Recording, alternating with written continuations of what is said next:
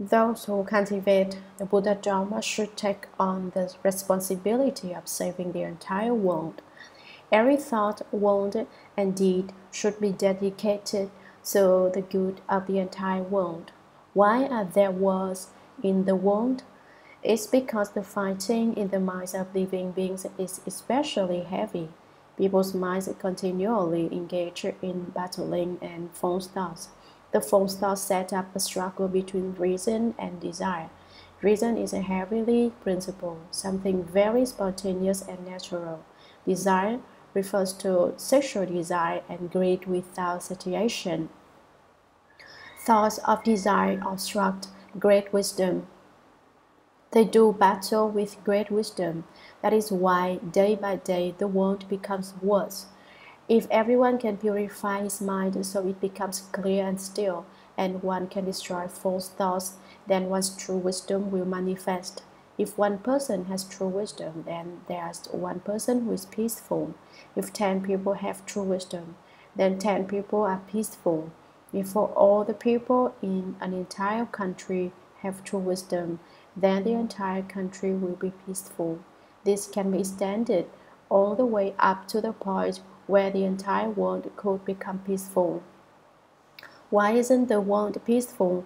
Because the minds of living beings are constantly filled with desire, and there's little wisdom in evidence anywhere. So day by day the world becomes worse.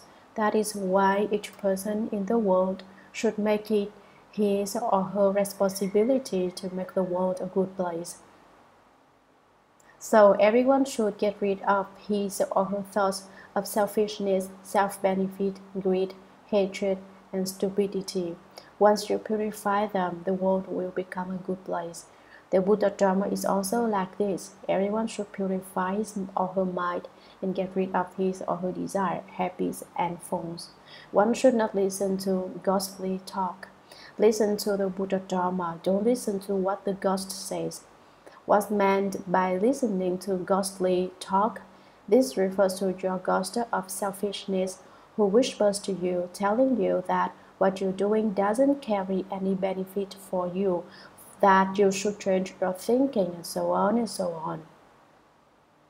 To make Buddhism right, Buddhist disciples should purify themselves and not have impure thoughts.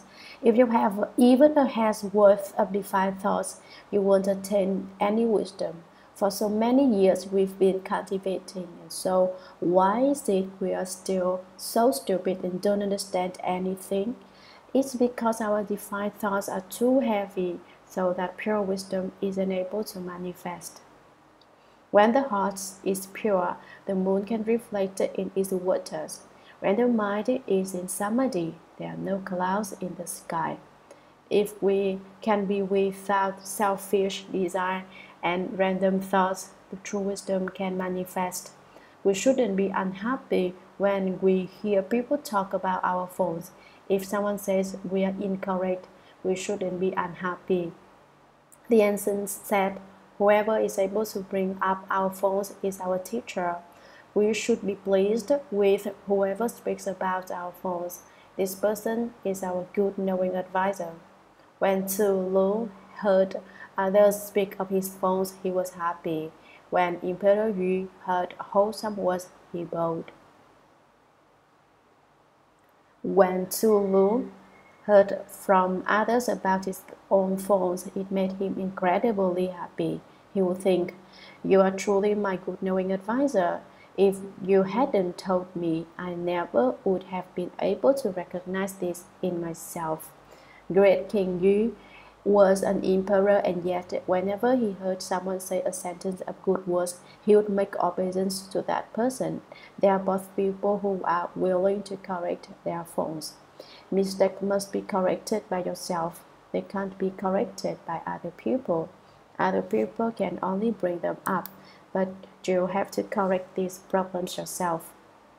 A good knowing advisor can bring them to your attention, tell you about them, but whether you listen or not is up to you. Those who cultivate the way can't obstruct other people's cultivate of the way. It's already bad enough that you don't cultivate the way yourself, but if In addition, you proceed to confuse other people, cause them not to cultivate, cause their minds to be disturbed, and cause them to have a lot of false thinking. Then you are creating an extremely dangerous situation. It's not the world that's not good, it's I who am not good. If I want to make the world right, then I first have to be right. If you don't want your family to fight, then you yourself shouldn't fight. It all stems from yourself. It's not that my disciples are bad, but that I'm bad. I want to correct myself, then my disciples will be good. Sutra Living beings say, On such and such a day, the Buddha accomplished the way, yet the Tathagata's attainment of Bodhi is actually not fixed to a certain day. The third common is apart from discriminations. He is not of this world and transcends the own calculations. All guiding masters of the three periods of time appear in this way. Consider how, although the pure solar orb actually does not unite with the dark of night, we still make reference to day and night together. So too we retreat, retreat the dharmas of all Buddhas, all compassed in the three periods of time, do not unite with the Thus Come Ones. Yet we speak of the Buddhas of the three periods of time and also regard the Dharma of the guiding master like this. Commentary Jewel Banner Bodhisattva also says that worldly marks and world transcending marks are not the same. The world has marks, and what is transcendental is without marks. Living beings say, on such and such a day, the Buddha appeared in the world, and on a certain day, the Buddha left the home life. On such and such a day, the Buddha accomplished the way. And on such and such a day, the Buddha turned the Dharma wheel. Then, on a certain day, the Buddha entered Mahaparinirvana. It is in accord with the common truths of the world that one speaks this way. Yet, if one speaks in accord with the absolute truth, the Tathagata's attainment of Bodhi is actually not fixed to a certain day the Buddha's accomplishment of the way, his accomplishment of unsurpassed, proper and equal right enlightenment did not occur at a fixed time on a certain day. The Buddha in countless kalpas past had already accomplished the way. He says in Brahma Net Sutra, I have into this Saha world 80,000 times. I have into this Saha world 8,000 times. 8,000 times is also just a number, but it's not just 8,000 times. The Buddha, according with the opportunities of living beings, manifests. There isn't any definitive about it. The Thus Come One is apart from discriminations. If you wish to understand the Buddha, you can't use the mind which discriminates to calculate or to think about him, because the Buddha is inconceivable. So once you use your mind to think about it or use words to conceptualize it, then you have already fallen into a secondary meaning. He is not of this world and transcends all calculations. The Buddha isn't like us living beings who use our minds bound up in attachment to think with. He transcends all calculations. He's apart from all reckonings, so he isn't contained any number. Numbers are very subtle and wonderful. For instance, broadcasts go into space. This is all calculated by mathematics and it can't be off by a hair. These rockets go to the moon, then return, and this belongs to the realm of mathematics. But the Buddha transcends all numbers. One can neither think of him within one's mind nor speak of him with words all guiding masters of the three periods of time. Speaking on a small scale, the three periods of time refer to this past hour, the present hour, and the next hour. In slightly broader terms, this means yesterday, today, and tomorrow. These are also the three periods of time, or a longer period would include last month, this month, and next month. These two are the three periods of time yet extending it for even a longer period The three periods of time also include last year, this year, and next year. So you don't necessarily have to say that the past time is last life and that this time is this life and future time is next life.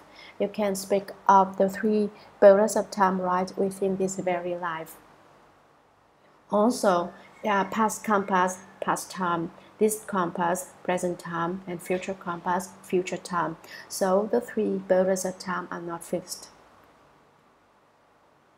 In the line, all guiding masters of the three periods of time all is a grammatical particle that can mean both one and all. If it were to mean just one, which guiding master would it be referring to?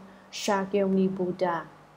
Shakyamuni Buddha is also the guiding master of the past, present, and future. And so the next says that all guiding master of the three periods of time appear in this way. No matter whether there are many or just one, the guiding master manifested in the world all in the same way. They aren't without production, yet they sweep away all dharmas and are apart from all marks. They act as if not acting. So we living beings shouldn't use our common, ordinary minds to fathom the wisdom of the sages. Consider how, although the pure solar orb actually does not unite with the dark of night, we still make reference to day and night together. So, to do we treat the dharmas of all Buddhas. Here, the analogy and is made to the sun in a completely clear sky. As they say, not a cloud in the sky for 10,000 miles. Although this clear and pure sun doesn't unite with the night, yet day return, uh, turns into night and night turns into day. Most common people speak of day and night in the sense that they are connected. That is, day connects with night and night connects with day. However, this is a common way of speaking, and just as it is with the pure sun, so too do we treat the dharmas of all Buddhas all Buddha Dharmas are also like this, like the pure sun. We living beings, while in the midst of marks, should be apart from marks, while in the midst of dharmas, should recognize the absence of dharmas. One shouldn't be attached to things which have form and characteristics. All kalpas in the three periods of time, the great kalpas of the past, present, and future, do not unite with the Thus Come Ones Kalpas are Kalpas and Buddhas are Buddhas. Although they don't unite, people speak of the Buddhas of the three periods of time and also regard the Dharma of the guiding master like this. The Dharma of Shakyamuni Buddha is also like this. Although Buddha don't unite with the three periods of time, yet it is said that there are Buddhas throughout the three periods of time. And the Buddha Dharma is also like this. Sutra. At that time, vigorous banner Bodhisattva received the Buddha's spiritual power, universally contemplated the ten directions, and spoke these verses. All guiding masters' bodies are the same, and so too are their meanings. Universally in the lands of the ten directions, according to potentials, they appear in various ways. You should contemplate the honored Muni. That which he does is extremely rare and special. It completely fills the Dharma realm, and there is nothing left out. The Buddha's body is not within, nor is it without. Because of spiritual power, it is revealed. The Dharma of the guiding master is just like this. Commentary When Jewel Banner Bodhisattva had finished speaking his verses, at that time, vigorous Banner Bodhisattva received the Buddha's spiritual power universally contemplated the ten directions and spoke these verses. In this Dharma assembly, there is a Bodhisattva called Vigorous Banner Bodhisattva. This Bodhisattva is vigorous both day and night. In the six periods of the day and night, he is constantly vigorous. He doesn't rest either in the day or night. With his body, he is always diligent by constantly following the Buddhas in study. With his mind, he is never vigorous by continually reflecting on and investigating the Buddha Dharma. Therefore, he is given the name Vigorous Banner Bodhisattva. This Bodhisattva also relies on the great, awesome spiritual power of Vairochana Buddha, that is to say, Shakyamuni Buddha. He receives the great, awesome spiritual power of all the Buddhas of the ten directions and the three periods of time, having attained the protection and support and support of the Buddhas of the ten directions and the three periods of time. His eloquence and wisdom increase and he becomes unobstructed. Then he is able to universally contemplate the causes and conditions of the living beings of the ten directions and three periods of time. And according to the proper Dharma that ought to be used to teach and transform them, he speaks that Dharma. He uses verses which are very simple in meaning to explain the Buddha Dharma for them. All guiding masters' bodies are the same, all the Buddhas of the ten directions and the three periods of time have bodies which are identical. They are share they all share the Dharma body, and so too are their meanings. They have the same body, and their meaning are also the same. The path of all Buddhas is the same. Buddhas are identical to other Buddhas. There isn't any discrimination that of this and that. Also in the East, there's Medicine Master Buddha in the south, there's Jeweled Victory Buddha. In the west, there is Amitabha Buddha. In the center, there is Shakyamuni Buddha. And in the north, there is Accomplishment Buddha. Although there are all these distinctions, yet ultimately they all have one substance. And so, universally, in the lands of the ten directions, according to potentials, they appear in various ways. According to living being's mind and responses, the Buddhas produce all kinds of bodies to teach and transform them. You should contemplate the honored Muni. Each of you living beings, you, me, and him are included. All the present living beings spoken of here, you should take a look at Shakyamuni Buddha, world honored one, because that which he does is extremely rare and special. What he does is very unique and excellent. He completely fills the Dharma realm. His Dharma body completely fills up the Dharma realm to the ends of empty space. And there is nothing left out. In all places, he is neither present nor is he not present. The Buddha's body is not within. The body of the Buddha is present, yet is not present. It's not inside, nor is it without, he is also not outside. Because of spiritual power, it is revealed. Because of the spiritual strength cultivated by all Buddhas based on the power of, vast, of past vows, he therefore appears. The Dharma of the guiding master is just like this. The Buddha Dharma is that way too.